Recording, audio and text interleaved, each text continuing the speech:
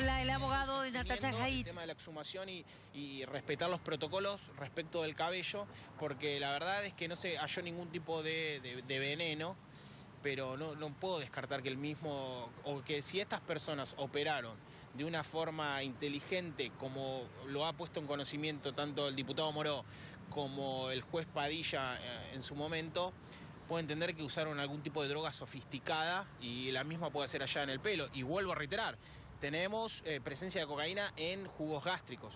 ¿Qué significa eso? A ver si La verdad es que fueron muy pocas eh, las muestras que se hicieron, por eso entiendo de que hubo un error por parte de los peritos al momento de, de hacer la autopsia.